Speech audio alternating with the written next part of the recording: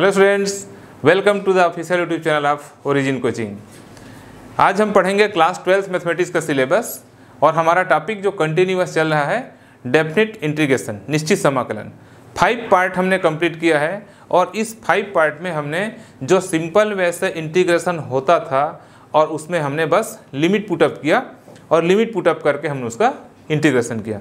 आज जो टॉपिक मैं आपके लिए लेके आया हूँ, वो डेफिनेट इंटीग्रेशन का, निश्चित समाकलन का सबसे इंपॉर्टेंट टॉपिक है, क्योंकि आज हम पढ़ने वाले हैं प्रॉपर्टीज़ तो प्रॉपर्टीज़ आज मैं पूरे प्रॉपर्टीज़ को एक्सप्लेन करूँगा आपको और उससे रिलेटेड कुछ क्वेश्चन भी एग्ज़ाम्पल में बताऊँगा, ताकि आप प्रॉपर्टी को यूज़ कर सको। तो पार्ट पार्ट में मैं डेफिनेट इंटीग्रेशन के प्रॉपर्टी वाले क्वेश्चन को आपको डिफ़िकल्टी लेवल के हिसाब से पहले इजी फिर थोड़ा मीडियम लेवल के, फिर थोड़ा डिफ़िकल्ट लेवल के क्वेश्चन को आपको कराऊँगा। तो चलिए आज हम स्टार्ट करते हैं। डेफिनेट इंटीग्रेशन का ये part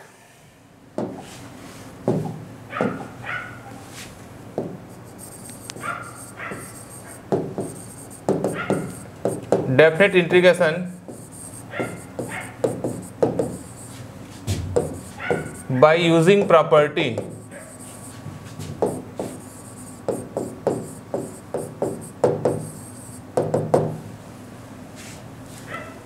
निश्चित समाकलन प्रगुण के उपयोग से, ठीक है?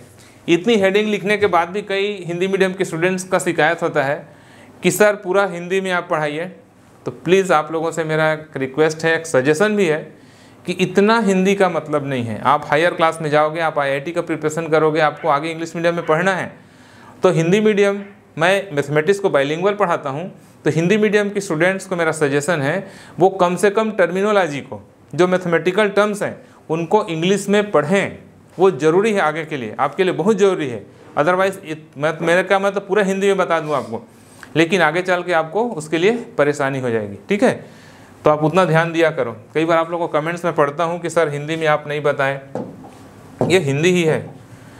तो definite integration by using properties property का यूज़ करेंगे तो हम पहले प्रॉपर्टी को पढ़ेंगे। तो आज सबसे पहले मैं आपको प्रॉपर्टी एक्सप्लेन कर दूँ।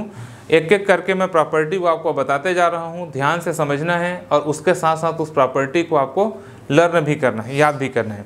तो प्रॉपर्टी फ़र्स्ट फ़र्स्ट नंबर की प्रॉपर्टी क्या है देखो? Integration of A to B function of X D X इसको हम लिख सकते हैं integration of A to B function of T D T यह पहला प्रॉपर्टी है। इस प्रॉपर्टी का मतलब क्या हुआ? कि जैसे यहाँ पर इंटीग्रेशन से पहले हमारा जो फ़ंक्शन है, वह x के फॉर्म में है तो x के फॉर्म में इंटीग्रेशन हो रहा है। तो हम चाहें तो सब्सटीट्यूशन करके, प्रतिस्थापन यदि हम करें तो हम फ़ंक्शन को t के फॉर्म में इंटीग्रेट कर दें तो इसका इंटीग्रेशन का रेस्पेक्ट भी चेंज हो जाएगा उसी फॉर्म में। तो फ़ंक्शन आप एक्स को फ़ंक्शन आप टी यूज़ कर सकते हैं। इस प्रॉपर्टी का बहुत ज़्यादा यूज़ नहीं होता, आसान है। मैं आपको बताते भी जाऊँगा, ये जो सेवन प्रॉपर्टी हम पढ़ेंगे वो सेवन प्रॉपर्टी में चार प्रॉपर्टी मोस्टली बहुत ज़्यादा यूज़ होता है और तीन प्रॉपर्टी थोड़ा कॉमन है। तो ये तो कॉमन प्रॉपर्टी ठीक है? इतना आपको समझ में आ गया होगा। Now next property property number two एक एक करके सभी प्रॉपर्टी में आपको बताते जा रहा हूँ। Integration of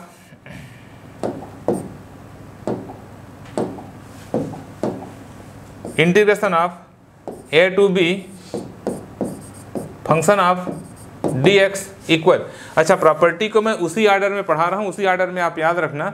वैसे कोई ज़रूरी नहीं होता फिर भी property one property two property three ऐसा बोलो तो नंबर से भी आपके दिमाग में क्लिक हो जाए कि भाई प्रॉपर्टी फोर में ये है प्रॉपर्टी फाइव में है। जैसे पढ़ाते वक्त मैं बोल दूँ कि प्रॉपर्टी फोर तो आप समझ जाना कि कौन सी प्रॉपर्टी इसीलिए मैं उसको प्रॉपर आर्डर में ही आपको बता देता हूँ, ठीक है?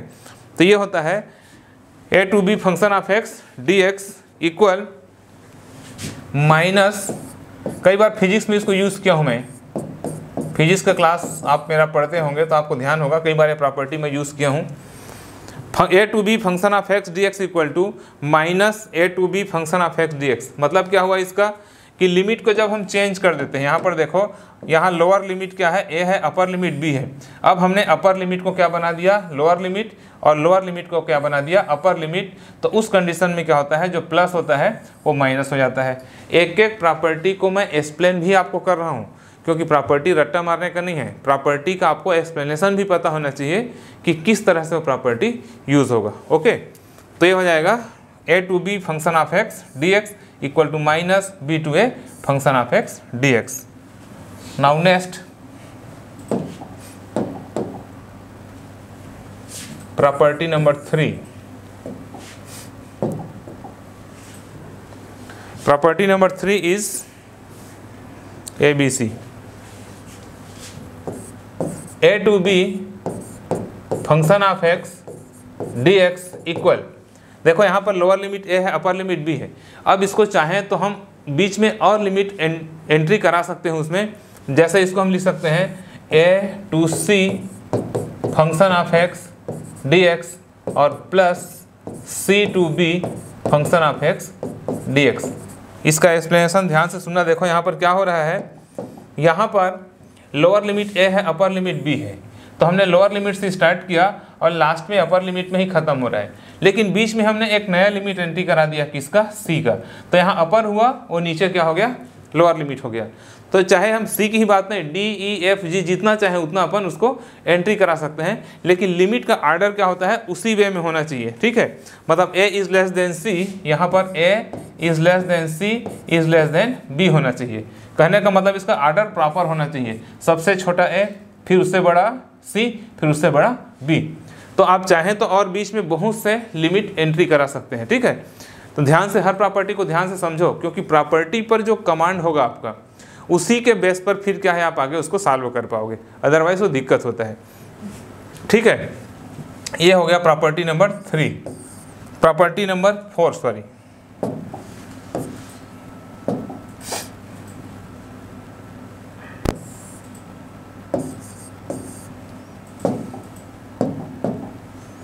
property number four में देखो।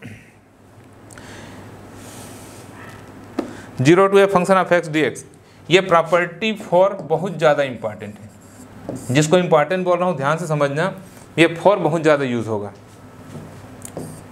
Zero to A function of X D X यदि हमारा limit zero to A function of X D X हो तो इसके दो प्रॉपर्टी आपको बता रहा हूँ, कौन से कंडीशन में क्या होता है, ये ध्यान में रखना, ठीक है? तो इसका पहला जो पार्ट होगा, वो होगा two zero to A function of X D X if function of A is even even मतलब सम। यदि सम हो, माने यदि फ़ंक्शन ऑफ़ एक्स क्या हो, इवन नंबर हो, सम संख्या हो तो two zero to A function of X D X होगा। इसका मतलब क्या हुआ? पहले पार्ट को समझ लो, उसके बाद दूसरे पार्ट को मैं यहाँ पर लिखूँगा। पहला तो ये है, ठीक है? इसके बाद दूसरा करके मैं यहाँ पर लिखूँगा उसको। तो थोड़ा ध्यान से समझना इसका एक्सप्लेनेशन यहाँ पर जो फ़ंक्शन दिया हुआ है, यह फ़ंक्शन यदि क्या हो सम फलन हो। सम फ़ंक्शन हो, जैसे सम फ़ंक्शन हम किसको कहते हैं? सम फ़ंक्शन मतलब यदि फ़ंक्शन को निगेटिव कर दें, आपने फ़ंक्शन के टाइप्स पढ़ा इलेवंथ क्लास में, यदि हम फलन को क्या कर दें, ऋणात्मक कर दें तो ऋणात्मक करने पर भी फ़ंक्शन क्या हो पॉजिटिव बना रहे। तब हम उसको क्या कहते हैं? सम फलन कहते हैं इवन फ़ंक्शन कहते हैं। जैसे कास एक्स कास एक्स क्या होता है? यदि कास माइनस एक्स कर दूँ, तब भी कास एक्स होगा। ठीक है? तो उसको हम क्या कहते हैं? समफलन। तो यदि फ़ंक्शन ऑफ़ एक्स क्या है? समफलन हो तो उस कंडीशन में इसका फार्मूला होता है ये। सामने टू का मल्टीप्लाई हो जाएगा और zero to A function of X D X होगा। लेकिन यदि ये बहुत ज़्यादा यूज़ होता है ना, बहुत ही ज़्यादा यूज़ होने वाला फार्मूला है, और दूसरे कंडीशन में ये ज़ीरो हो जाएगा, किस कंडीशन में? If function of X is odd function odd मतलब विषम। अभी मैं क्वेश्चन की प्रैक्टिस कराऊँगा तो सब क्लियर हो जाएगा। ठीक है, पहले प्रॉपर्टी को सबको एक्सप्लेन कर दूँ, फिर सब प्रॉपर्टी पर एक एक क्वेश्चन में आपको कराऊँगा, सब क्लियर हो जाएगा। तो equal to zero equal to क्या होगा? टू कब? टू इंटू इतना, जब फलन सम हो, और ये क्या होगा? ज़ीरो होगा, जब फ़ंक्शन ऑफ़ एक्स क्या हो? विषम फलन हो, जैसे साइन एक्स साइन एक्स क्या है? विषम फलन है। यदि आप साइन के सामने साइन माइनस एक्स लिख दो तो माइनस साइन एक्स हो जाता है। वो क्या कहलाता है? विषम फलन। तो विषम फलन कंडीशन में ये ज़ीरो होगा तो इसके दो वैल्यू होंगे।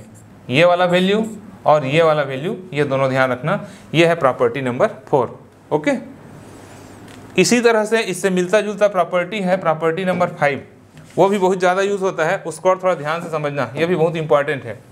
प्रॉपर्टी नंबर फिफ्थ जिसको मैं इंपॉर्टेंट बोल रहा हूँ बहुत ज़्यादा यूज़ होगा। उसको पूरा अच्छे से समझ लो आप। यहाँ पर है function of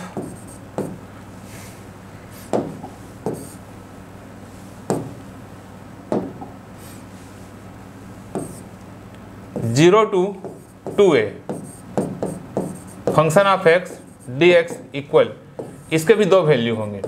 पहला और दूसरा। Function of X D X zero to two A ठीक है? तो ज़ीरो टू टू ए होने के कंडीशन में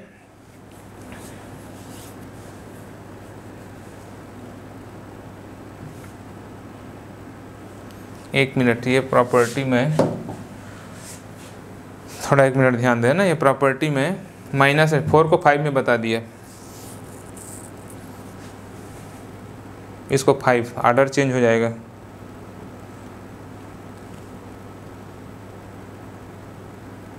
ये माइनस ए टू ए में होता है सॉरी इसको मैं थोड़ा सा चेंज कर रहा हूँ ना।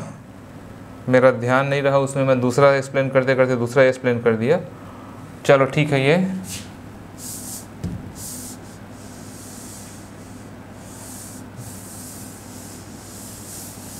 फाइव और सिक्स एक्स जैसा है। फाइव और सिक्स एक्स जैसा है।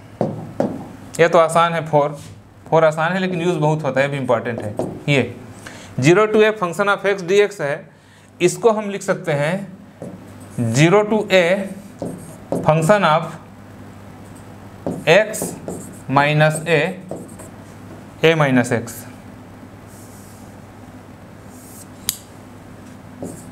A minus X D X ऐसा लिख सकते आसान है ये। यदि हमारा लोअर लिमिट ज़ीरो हो लोअर का ज़ीरो होना ज़रूरी है ना? तो लोअर लिमिट ज़ीरो हो और अपर लिमिट ए हो तो function of X D X equal to zero to A function of A minus X D X लिख सकते हैं। यह प्रॉपर्टी भी बहुत ज़्यादा यूज़ होता है, ठीक है? ये है फोर नंबर का प्रॉपर्टी क्या है आर्डर को अपन प्रॉपर पढ़ेंगे तो फिर उसमें कोई दिक्कत नहीं होगा अपने को। अदरवाइज़ बाद में मैं प्रॉपर्टी फोर प्रॉपर्टी फाइव ऐसा बोलूँगा, दिक्कत होगा। तो प्रॉपर्टी फोर में हमने क्या देखा? Zero to A function of X D X equal to zero to A function of A minus X ये हो जाएगा प्रॉपर्टी नंबर फोर अब देखो प्रॉपर्टी नंबर फिफ्थ जो मैं बता रहा था वो इस तरह से होगा। इसके भी दो होंगे। इसके पहले जो मैंने आपको एक्सप्लेन किया है, उसकी बात है। ये होगा माइनस ए टू ए ऐसा हो तो मतलब लोअर लिमिट माइनस ए हो, ऊपर ए हो।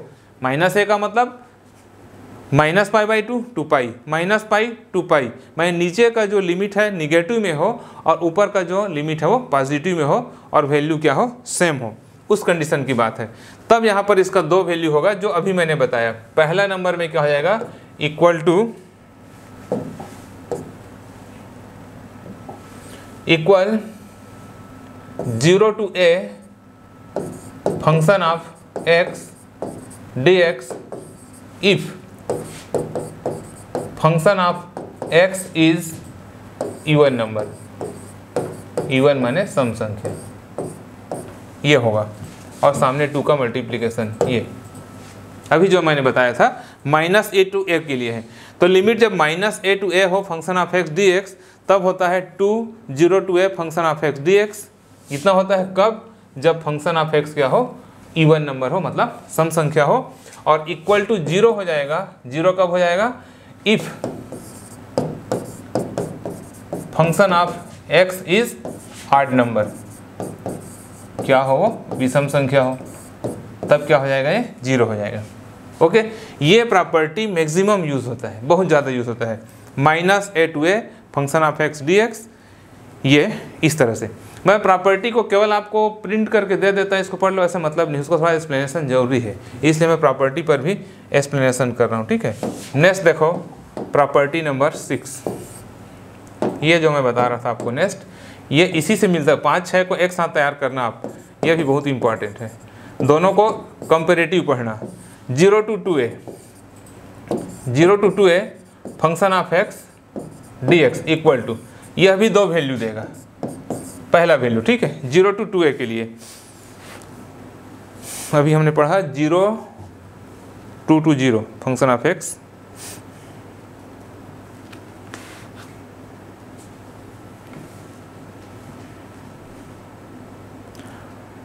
function of two x equal to x. Formula उसी रूप में होगा। Equal to two into zero to a function of x d x ऐसा होगा। If function of two a minus x equal to function of x हो। Function of two a minus x equal to function of x हो, ठीक है? Function of two a minus x equal to function of x हो। मतलब उस तरह का। सम और विषम फलन से, दोनों को मैं लिख दूँ, फिर एक कंपेरेटिव बताता हूँ। ये ज़ीरो होगा, कब? जब function of two a minus x equal to क्या हो? माइनस फ़ंक्शन ऑफ़ एक्स हो।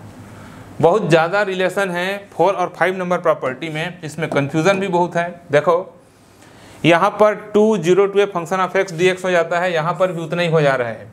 कब? जब ये क्या है? इवन फ़ंक्शन है, और ये कब? जब function of two a minus x equal to function of x और यही इवन फ़ंक्शन का कंडीशन है। यही इवन फ़ंक्शन का कंडीशन है सम फलन का। अभी मैंने आपको बताया कि जब फ़ंक्शन को निगेटिव कर दें तो फ़ंक्शन में कोई चेंज ना हो। तो वही आ रहा है यहाँ पर, देखो ये two a minus x function of x तो इसका पहला का, इसके पहले के साथ में रिलेशन है। और यहाँ पर देखो, ये ज़ीरो हुआ है। दूसरा फ़ंक्शन ज़ीरो यहाँ पर भी ज़ीरो होता है, यहाँ पर कब? जब फ़ंक्शन ऑफ़ एक्स क्या हो? आठ फ़ंक्शन हो, विषम फ़ंक्शन यहाँ पर देखो function of two a minus x क्या हो रहा है? माइनस फ़ंक्शन ऑफ़ एक्स हो रहा है, जो कि विषम फलन में भी होता है। तो फोर और फाइव प्रॉपर्टी में बहुत ज़्यादा सिमिलरिटी है। इसको बहुत ध्यान से आपको समझने का है। ठीक है? प्रॉपर्टी फाइव और प्रॉपर्टी सिक्स में। फोर फाइव ना फाइव और सिक्स में। ये दोनों प्रॉपर्टी में बहुत ज़्यादा सिमिलरिटी है। तो ऐसे पार्ट पार्ट में आप स्टडी करना। पहले ये फोर को तैयार करना, जो सामान्य है, ये तो सामान्य है बिल्कुल। ये फोर को एक पार्ट में कंपेयर करो। उसके बाद फिर ये आप इन दोनों को एक साथ करो फाइव और सिक्स को। और सेवन तो बहुत आसान है, बहुत ही ज़्यादा आसान है। और सेवन का बहुत ज़्यादा यूज़ भी नहीं होता है, ठीक है? तो सेवन नंबर प्रॉपर्टी आसान है, उसे बता देता हूँ मैं। एक बार इसको आप अच्छे से समझ लो।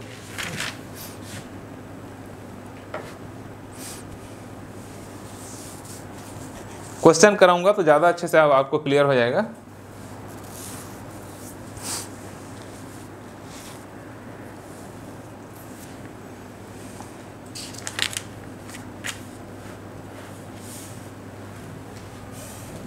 नेक्स्ट प्रॉपर्टी नंबर सेवन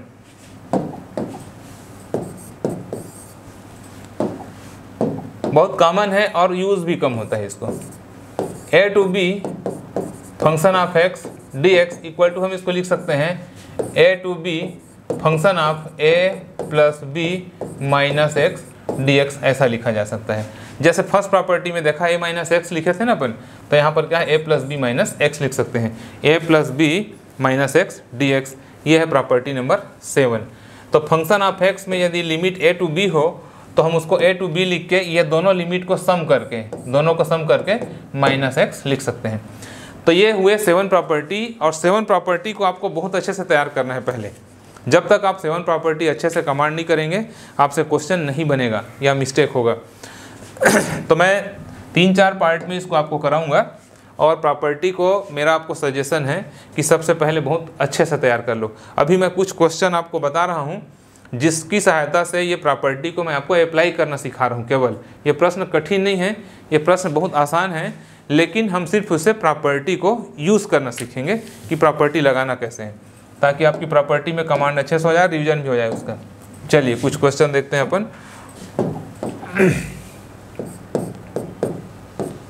ये प्रूफ करने वाला क्वेश्चन है पहला। Zero to pi by two sine x d x proof करना है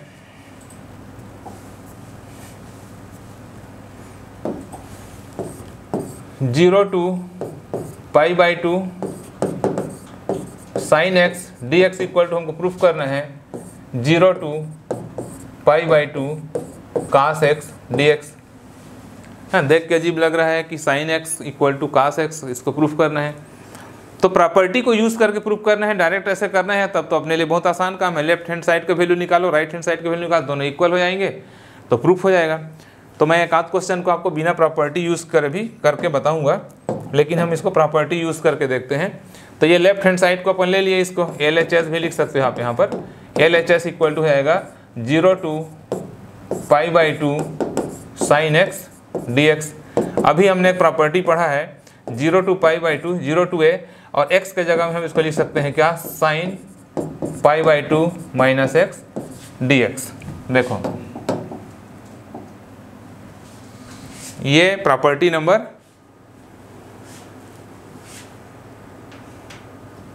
यहाँ पर बी टू सी ये property number four property number four में फ़ंक्शन ऑफ़ एक्स है, ये ज़ीरो है तो हमने क्या लिखा है इसको? ए माइनस एक्स लिखा है। ज़ीरो टू ए है तो ए माइनस एक्स लिखा है।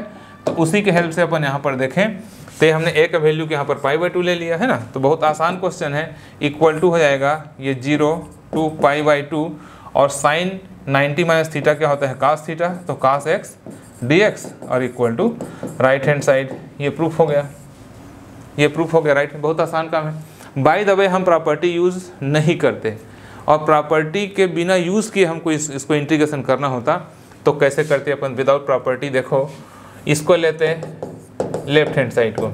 लेफ़्ट हैंड साइड को लेते हैं zero to pi by two sine x मैं एक ये बता रहा हूँ कि आपके दिमाग में क्वेश्चन आना चाहिए कि सर हम इंटीग्रेशन तो कर लेते हैं उसको। अब बाद में लिमिट करते प्रॉपर्टी के लफड़े में पढ़ने का क्या क्या है? भाई, हमको इंटीग्रेशन तो आता है इंटीग्रेशन कर लिए, जैसे पिछले के एक्सरसाइज में किया, और लास्ट में हमने लिमिट को रख दिया। प्रॉपर्टी यूज़ करने से क्वेश्चन आसान हो जाते हैं। देखो मैथमेटिक्स में जो भी फार्मूला डेवलप किया जाता है, या जो विशेष उसकी प्रॉपर्टीज़ डेवलप किए जाते हैं, वो वर्क को आसान करने के लिए है, उसको सरल करने के लिए। आपके पास ये प्रॉपर्टी नहीं होता तो आप इसको प्रूफ नहीं कर पाते, ऐसा नहीं है। कैसे प्रूफ करते ये करते हैं। अब साइन एस का हम इंटीग्रेशन करते हैं तो साइन एस का इंटीग्रेशन क्या आता? Cos x minus cos x आता, और zero to pi by two लिखते हैं। That equal to minus upper limit minus lower limit तो cos pi by two minus cos zero करते that equal to minus cos ninety zero लिखते ये कास zero ना? और कास ज़ीरो को लिखते हैं माइनस वन और इक्वल टू मिल जाता है हमको वन ये हम लेफ़्ट हैंड साइड निकालते हैं। फिर क्या करते हैं हम?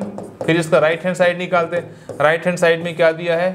Zero to pi by two cos x d x इसका इंटीग्रेशन करते हैं तो क्या हो जाता? Sine x zero to pi by two फिर हम इसका लिमिट रखते हैं तो sine pi by two minus sine zero that equal to sine ninety क्या हो जाता? ज़ीरो। और ये सॉरी साइन नाइन्टी तो वन, है ना? साइन नाइन्टी वन और ये zero that equal to one. अब देखो लेफ़्ट हैंड साइड का वैल्यू हमारा वन आया और राइट हैंड साइड का भी वैल्यू वन आया तो देयर फॉर क्या लिख देते हैं? Left hand side equal to right hand side तो कितना लेंदी वर्क था? ये तो मैंने एक छोटा सा क्वेश्चन बताया, बहुत आसान क्वेश्चन और ये प्रॉपर्टी यूज़ करके सिर्फ़ एक लाइन में इसकी प्रॉपर्टी जो डेवलप किया, उसको यूज़ किया तो ये प्रूफ हो गया। तो ये कंपेरिजन है कि प्रॉपर्टी डेवलप क्यों किया गया। अभी तो आपका एकदम इनिशियल स्टेज में मैं आपको बता रहा हूँ उसको। धीरे धीरे धीरे आपको समझ में आएगा कि पीछे भी हम कई क्वेश्चन जो बहुत लेंदी किए, बहुत बड़ा बनाए, वो क्वेश्चन प्रॉपर्टी यूज़ करके बहुत आसान हो जाएगा। तो प्रॉपर्टी बहुत इंपॉर्टेंट है इंटीग्रेशन को आसान करने के लिए भी और एग्ज़ाम में भी प्रॉपर्टी के क्वेश्चन ज़्यादा पूछे जाते हैं। ओके? चलिए, और कुछ क्वेश्चन देखते हैं अपन।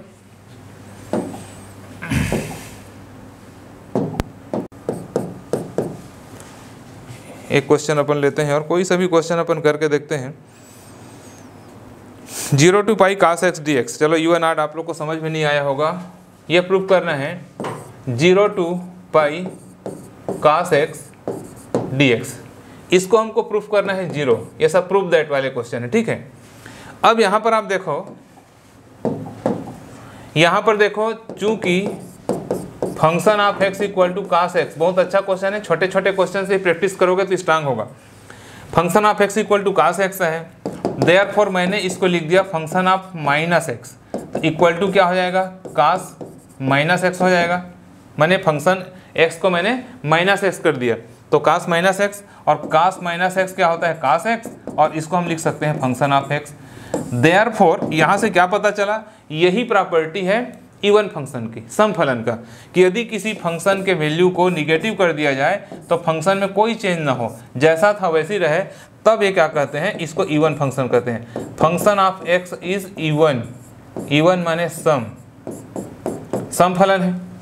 अब हमको पता है कि जब ये फ़ंक्शन सम फ़ंक्शन हो तो प्रॉपर्टी हमने देखा है, देखो, ये सम फलन का प्रॉपर्टी आपको बता देता हूँ। ये जो हमने पढ़ा है कि जब फ़ंक्शन क्या हो सम फलन हो तो उसका जो वैल्यू होता है सॉरी इसमें, ये वाला ना, ये तो माइनस ए टू ए है ज़ीरो वाला, उसको ध्यान रखना, कौन सा लगाना है? यहाँ पर ज़ीरो टू टू ए है, मैं ज़ीरो टू पाई है, और हमने पाई को टू ए लिया, और इसके जगह में हमने क्या लिया? ये, माने फ़ंक्शन ऑफ़ एक्स आया तो उस कंडीशन में हम क्या लिख सकते हैं उसको? Two zero to a function of x d x इस प्रकार से लिख सकते हैं, ठीक है?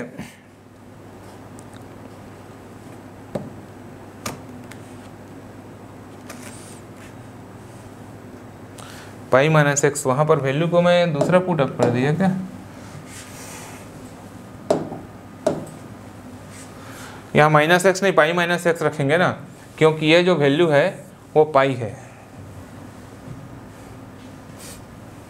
मैं खाली एक्स रख दिया। मैं सीधा इवन आर्ट फ़ंक्शन समझाने लगा आपको।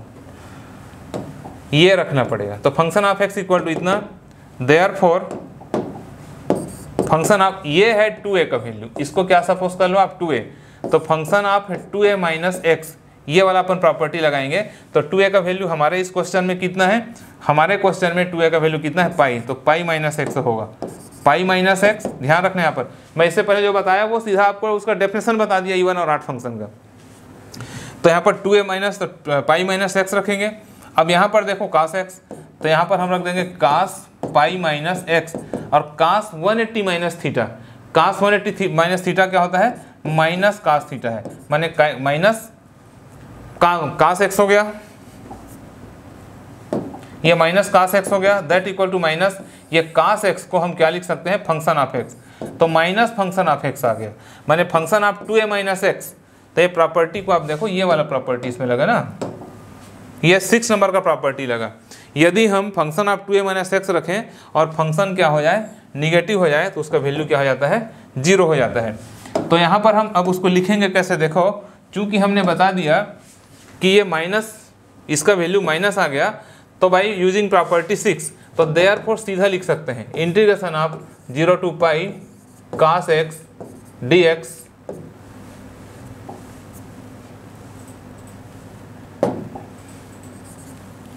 equal to zero सीधा लिख सकते हैं किसको यूज़ करके? प्रॉपर्टी सिक्स को यूज़ करके। ये चीज़ हमने दिखा दिया कि function of two a minus x minus function of x हो गया। तो प्रॉपर्टी इसका वैल्यू ज़ीरो होता है। तो इतना आसान है और बाई द वे ये प्रॉपर्टी आप यूज़ नहीं करते। तो क्या करते हैं? तो कास एक्स का इंटीग्रेशन करते हैं। मैं कुछ क्वेश्चन को आपको दो दो तरीके से बता रहा हूँ तो ज़्यादा अच्छा रहेगा। देखो, इसका सेकंड मेथड जो डायरेक्ट मेथड है। सेकंड मेथड से मान लो हम इसको बनाते हैं। तो zero to pi cos x कुछ क्वेश्चन आपको उस मेथड से ज़्यादा आसान। देखो एग्ज़ाम में आएगा तो बाई यूजिंग प्रॉपर्टी नहीं कहेगा वो। वो बाई यूजिंग प्रॉपर्टी नहीं कहेगा। तो बाई दबे आपका कोई क्वेश्चन प्रॉपर्टी यूज़ करके नहीं बन रहा है तो आप ऐसे बना देना। वो गलत नहीं है। किसी क्वेश्चन में यदि बोले कि बाई यूजिंग प्रॉपर्टीज़ तो आप बाइंडेड हो गए, लेकिन ऐसा जनरली नहीं पूछता। वो बोलता है इंटीग्रेट समाकलन करो, या मान ज्ञात करो ई वैल्यूट ऐसा पूछता है। तो जैसे ये क्वेश्चन आया, अब हम ये सब नहीं कर पा रहे हैं तो सीधा इसका इंटीग्रेशन कर दो तो कास एक्स का इंटीग्रेशन क्या लिखेंगे अपन? साइन एक्स लिखेंगे। तो sine x zero to pi उसका upper limit minus lower limit तो क्या लिख देंगे? Sine pi minus sine zero और साइन पाई कितना होता है? ज़ीरो होता है। साइन ज़ीरो तो ज़ीरो ही होता है, और साइन वन एट्टी भी ज़ीरो होता है, ये पूरा ज़ीरो हो गया, ये आंसर आ गया। अब यहाँ प्रॉपर्टी में आपको कठिन, ये आसान लग रहा होगा। तो कभी कभी बिना प्रॉपर्टी के भी क्वेश्चन आसान बन जाता है। तो वो पूरी प्रैक्टिस होने के बाद आप इमीडिएट देख के समझ जाओगे कि मुझको क्या करना चाहिए। ओके तो ये है इसके क्वेश्चन कास एक्स का इस तरह से यूज़ हो जाएगा। अब आप यहाँ पर देखो कि प्रॉपर्टी को जैसे आपको यूज़ करना है तो क्वेश्चन को पहले ध्यान से समझना है कि किस प्रॉपर्टी को मैच कर रहा है। ये मैं एक और मेथड आपको इसलिए बताते जा रहा हूँ। सब में नहीं बताऊँगा, लेकिन आपको मैं ये बता रहा हूँ कंपेयर करने के लिए कि किस तरह से हो सकता है। और इससे पहले जो मैंने एक्सप्लेन किया था इवन आर्ट फ़ंक्शन का है, उसका भी एक क्वेश्चन आपको बता देता हूँ। अदरवाइज़ दिमाग में कन्फ्यूज़न रहेगा कि कैसे मैंने यूज़ किया था। वो ये ऐसा बनेगा। एक इवन आर्ट वाला भी क्वेश्चन आपको बता देता हूँ। माइनस वाला। स्पेशली वैसी क्वेश्चन सेलेक्ट कर लेता हूँ आपके लिए मैं। Minus pi by two to pi by two x cos x d x minus pi by two to pi by two x cos x d x, ये क्वेश्चन इस क्वेश्चन को एक्सप्लेन कर रहा था पहले वाले कंडीशन में। तो यहाँ पर जैसे ही आपको दिखे कि यहाँ माइनस ए है, ये माइनस ए है और ये क्या है? ए है। तो आप प्रॉपर्टी फाइव समझ जाओगे। प्रॉपर्टी फाइव में माइनस ए टू ए है। तो आपको तुरंत याद आ जाएगा कि मुझे प्रॉपर्टी फाइव लगाना है। तो प्रॉपर्टी फाइव को क्या है अपन यहाँ पर? टेस्ट करके देखते हैं, इस तरह से। प्रॉपर्टी फाइव में इवन आर्ट का अपन चेक करते हैं।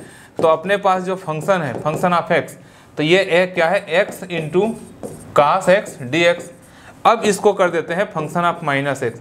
ये मैं बता रहा था लास्ट टाइम में कि माइनस एक्स रख के इवन आर्ट बताना है। तो माइनस एक्स रखो तो यहाँ पर एक्स के जगह में भी क्या हो जाएगा? Minus x. और यहाँ पर भी ये डी एक्स नहीं ना सॉरी ये डी एक्स का रोल नहीं है यहाँ पर। कास एक्स है। तो cos minus x, that equal हो गया माइनस एक्स, और कास माइनस एक्स क्या होगा? कास एक्स होगा। देखो, फ़ंक्शन ऑफ़ एक्स क्या है? एक्स कास एक्स है। तो एक्स कास एक्स हम फ़ंक्शन ऑफ़ एक्स लिख सकते हैं। तो माइनस फ़ंक्शन ऑफ़ एक्स हो गया। देयर क्या फ़ंक्शन हो गया ये? आठ फ़ंक्शन हो गया। ये विषम फलन हो गया। विषम फलन हो गया ये। तो ये विषम फलन हो गया। क्यों? क्यों विषम फलन हो गया? क्योंकि सामने में आ गया माइनस। और हम प्रॉपर्टी में पढ़े हैं कि जब वो विषम फलन हो प्रॉपर्टी में बार बार आप पीछे मूड के इसलिए दिखा रहा हूँ, आपके ध्यान में वो बैठे। देखो माइनस ए टू ए हो, और जब वो क्या हो जाए? विषम फलन हो जाए। कब? देखो, विषम फलन कब हो जाता है? विषम फलन का मतलब वही है। विषम और सम फलन का कॉन्सेप्ट वही है ना, कि जब फ़ंक्शन निगेटिव हो जाए तो विषम फलन होता है। ये। तो यहाँ पर फ़ंक्शन विषम हो गया तो उसका वैल्यू क्या होता है? ज़ीरो होता है। तो फ़ंक्शन को जैसे ही आप विषम बताओगे तो देयर फॉर आप डायरेक्ट लिख सकते हो माइनस पाई बाई टू से pi by two x cos x d x equal to zero oral answer है एक लाइन में। अब इसको सोचो, इसको यदि कॉमन मेथड से बनाओगे, ठीक है? यहाँ पर कौन सा प्रॉपर्टी यूज़ हुआ है? प्रॉपर्टी फाइव का आर्ट फ़ंक्शन वाला। प्रॉपर्टी फाइव का आठ फ़ंक्शन यूज़ हुआ है। विषम फलन। अब इस क्वेश्चन को जैसे मैं अभी बताते आ रहा था कि बोलोगे कि सर ऐसा ना बने तो यदि हम उसको प्रॉपर ट्रेडिशनल मेथड से बना लें तो कितना कठिन हो जाएगा? ये एक्स है, ये कास एक्स है। यदि आप इसको बनाओ माइनस पाई बाई टू तो pi x cos x d x तो अब इसको क्या सपोज़ करोगे? u. इसको सपोज़ करोगे v. फिर u इंटू वी से इंटीग्रेशन करोगे, फिर लिमिट रखोगे। कितना लेंदी होगा? और ये सीधा दो लाइन में बता दिया कि चूँकि विषम फलन है तो इसको आप क्या लिख सकते हो? ज़ीरो। तो विषम सम आपको पहचान में आना चाहिए। तो आज के क्लास में मैंने आपको कुछ लिमिटेड क्वेश्चन बताया। बेसिकली मैंने प्रॉपर्टी एक्सप्लेन किया। तो इस वीडियो से आप सबसे पहले, ये क्वेश्चन तो केवल फॉर्मेलिटी के लिए थी कि मैं आपको बता दूँ कि प्रॉपर्टी कैसे यूज़ होता है। तो प्रॉपर्टीज़ को सेवन प्रॉपर्टी को आपको बहुत अच्छे से तैयार करना है। बेसिकली फोर फाइव और सिक्स फोर, फाइव और सिक्स को तो बिल्कुल आप अपने दिमाग में ज़बरदस्त बिठा लो, क्योंकि सबसे ज़्यादा यही प्रॉपर्टी यूज़ होने वाला है। बाकी भी होंगे, लेकिन बहुत आसान है और उसको हम आसानी से गेस कर पाते हैं। तो नेक्स्ट वीडियो में मैं आपको इसके इंपॉर्टेंट क्वेश्चन थोड़ा मीडियम लेवल के क्वेश्चन और फिर डिफ़िकल्ट लेवल के तीन चार पार्ट में पढ़ाऊँगा, आप चिंता मत करिए। छोटे छोटे पार्ट में तीन चार पार्ट में पढ़ाऊँगा। एक साथ पढ़ा दूँ तो बहुत कन्फ्यूज़ हो जाएगा। आज तो मेरा पर्पज़ था कि मैं आपको प्रॉपर्टी को ही एक्सप्लेन कर दो। पहले तो मैं सोचा कि प्रॉपर्टी का आपको मैं प्रिंटेड पीडीएफ दे दूँ, लेकिन ऐसा नहीं, उसको एक्सप्लेन करना ज़रूरी था। तो ये मैंने आपको किया, इसको आप अच्छे से करिए। और नेक्स्ट क्लास में फिर हम इसके और क्वेश्चन देखते हैं। तो प्रॉपर्टी अच्छे से तैयार करके आइए। Okay thank you